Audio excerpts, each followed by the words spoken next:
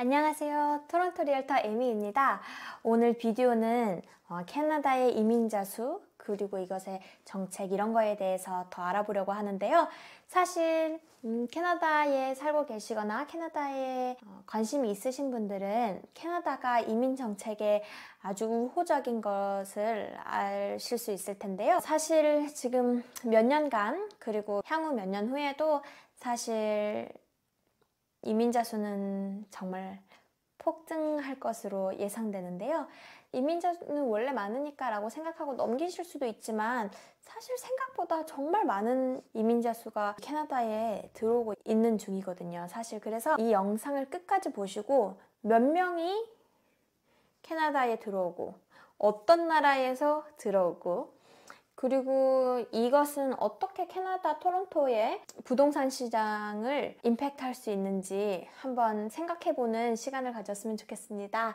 어, 혹시라도 더 궁금하신 거나 토론토 real estate에 대해서 더 이야기를 하고 싶으시다면 여기 밑으로 내려가시면 그 저희 유튜브 description 쪽에 저랑 30분 동안 1대1로 통화할 수 있고 어, 플랜을 짜볼 수 있는 거를 제가 만들어 놨거든요. 그래서 거기 클릭하셔서 음, 같이 고민을 생각해보고 같이 상담하는 시간이 가졌으면 좋겠고요. 또 까먹지 마시고 subscribe and like 꼭 해주시고요. 그리고 댓글도 예쁘게 달아주셨으면 정말 감사하겠습니다.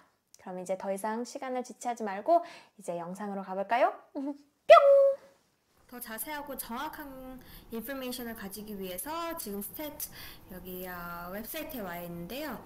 여기 잘 보시면 어, Canada's population clock이 먼저 나와 있어요. 그래서 population 캐나다를 보면 4,052만 어, 5,166명의 Canadian이 있는데요. 여기 잘 가서 봅시다. 여기 보시면 어, 이렇게 east coast 그러니까 동쪽에 조금 조용한 동네 countryside라고 하는 것은 뭐 여기 뉴펀들랜드, 뉴브런즈윅, 아, 프린스 에드워드 아일랜드, 노바 스코시아 음, 쪽으로 이렇게 볼 수 있어요. 이쪽 동쪽에 있는 어, territory입니다. 어, 여기는 정말 노바스코시아는 그래도 커진 편인데 다른 곳은 진짜 프린세드 아일 아, PEI 그리고 뭐 어, 뉴질랜드도 그렇고 여기 좀 내려가 보시면 뉴브런즈윅도 제가 아 여기 있네요. 뉴브런즈윅도 제가 온 곳인데 그래도 따, 어, 다른 데에 비해서는 좀 크죠.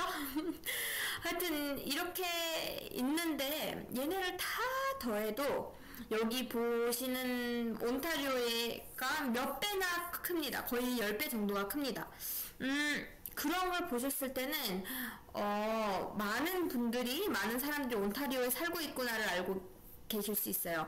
그 다음에 어, 조금 더 큰 데를 보자면은 뭐 브리티시 콜롬비아 정도 여기는 뭐 밴쿠버 가 있는 곳이니 어, 하지만 여기는 휴양지가 많은 곳이라 retire하고 이런 분들이 많아서 어, 브리티시 콜롬비아 밴쿠버 한국 분들도 정말 좋아하는 그 한국으로 가기 왔다 가기에도 편하고. 그래서 어 많이 좋아하시긴 하지만 토론토처럼 막 이렇게 파티하고 이런 vibe가 아니에요 거기는. 하여튼 브리티시 콜롬비아가 어 우리의 3분의 1 정도의 사이즈가 있고 그 다음에는 여기 퀘벡 퀘벡도 크죠? 퀘벡도 어 온타리오의 거의 half size 퀘벡은 어, 뭐 집값이 조금 더 싸고 이런 것들이 조금 메리트가 있다고 해요.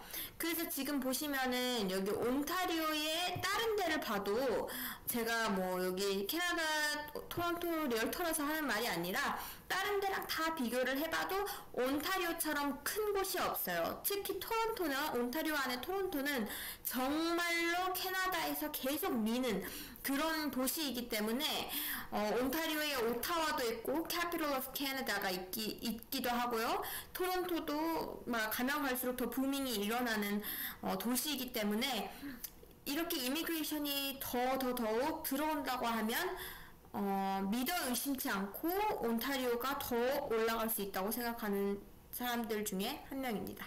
캐나다의 immigration level을 어, 알아봅시다. 2023년도에는 46만 5천에 넘는 immigration을 어, 캐나다가 받고 있는데요. 2024년도에는 48만 5천 명의 어, permanent resident를 welcome한다고 합니다. 그리고 2025년 그리고 2026년은 50만 분의 어, 분들을 매년 받기로 하는데요. 그렇게 되면 46만 5천여 명 거의 50만이죠.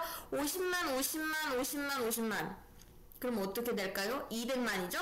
어, 지금부터 2026년까지가 만 해도 어, 200만 명이 여기 캐나다에 이사를 오시는 건데요. 어, 참, 그 정도면 정말 할 말을 다 했죠. 여기 이야기를 봅시다. 어, economic 그리고 family, 어, 그 다음에 refugee, 그 다음에 humanitarian.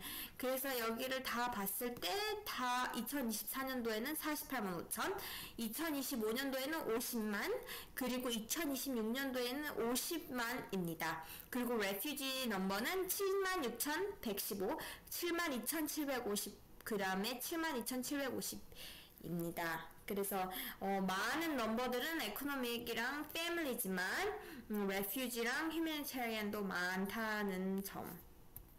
여기에서 이제 멈추지 말고 여기 밑으로 조금 더 내려가면 어, 여기에 그 들어오실 때 카테고리가 있잖아요. 거기는 뭐 high skill도 있고 비즈니스를 가지고 가, 들어오시는 분들도 있고 caregiver 그러니까 여기 살고 있는 사람들이 어를 위해서 caregiver를 하러 뭐 패밀리일 수도 있고 그런 거 그 다음에 뭐 Atlantic Immigration Pilot Program 이거는 어, AIPP인데요. 어, 한, 만약에 뉴브런즈윅이나 이렇게 동쪽으로 좀 애틀랜틱 쪽으로 가면은 음, 그쪽에 가서 정착하고 이런 거를 조금 encourage 하기 위해서 어, 만든 거거든요. 음, 그것도 조금 많은 분들이 그래도 가고 그렇긴 하지만 사실 많은 분들이 가는 거는 정말 high skilled skill을 가지고 특히 AI 이런 거를 가지고 오시는 분들이고요. 어, 여기 쭉 내려가면 레퓨지 분들도 여기 조금 계시고요. humanitarian 그래서 음, 제가 더 이상 말을 안 해도 캐나다에는 정말 많은 사람들이 들어온다는 거는 이제 확실히 아시겠죠? 어디서 많이 오시는지 한번 볼까요? 여기 31만 어, 9천 명의 사람들이 인도에서 오고요. 어, 그 다음에는 중국, 그 다음엔 필리핀, 그 다음엔 프랑스, 나이지리아, 아이란, 그리고 한국 분들 여기 있어요. 베트남, 멕시코, 그리고 미국에서 온다고 합니다.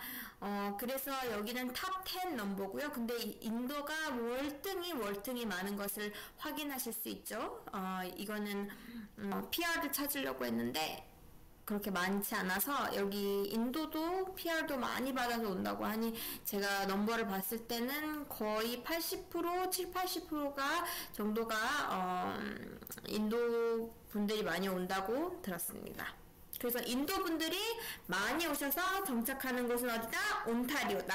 온타리오인데 온타리오에서 어느 뭐 어느 온타리오에 가느냐 그것도 참 중요하지만 어디로 갈까 생각을 해보세요.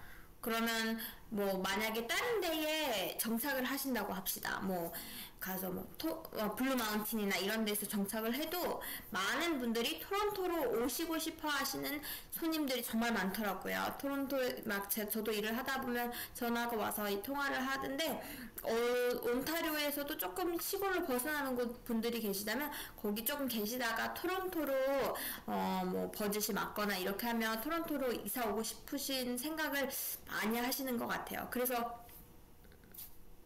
제 리스닝 중에 이 이유는 어, 한 개에 포함됩니다. 여기까지 제 비디오를 봐주셔서 너무너무 감사합니다. 사실 저도 이 이민자 수와 어, 그래픽스를 보고 정말 놀란 바가 있는데요. 혹시 어떻게 생각하시는지 저도 정말 궁금합니다. 생각했던 것보다 많으셨는지 아니면 이민자 수가 생각보다 그렇게 많지 않았어? 라고 생각하시는지 참 알고 싶고요. 어, 거기 밑에 내려가셔서 댓글 꼭 달아주세요. 제가 꼭 보고, 보고 있겠습니다. 하여튼 그래서 어, 이렇게 이민자 수가 많은 만큼 저 토론토 부동산에는 어떻게 어, 임팩트가 될지 혹시 생각해 보신 분이 있으신가요?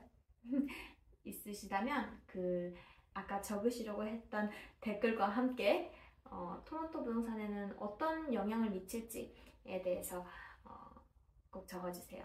사실 이런 영상을 만드는데도 제가 참 더 디테일하게 알 수 있는 저한테는 에듀케이셔널한 어, 그런 시간이 되는데요. 사실 이런 영상을 만드는 게 시간이 정말 짧게 걸리거나 이렇진 않아요. 그런데도 어, 저한테 문자 오셔서 잘 보고 있다고 그렇게 잘 얘기해 주시는 분들이 계셔서 힘이 납니다. 하여튼 그래서 그렇게 해주신 분들 너무너무 감사하고요. 댓글을 보면서 저도 어, 많이 부족한 건 알지만 이렇게 관심 가져주시고 문자나 이렇게 이메일 그리고 전화로도 오시는 분들이 있어서 그렇게 해주시는 분들 너무너무 감사하고요.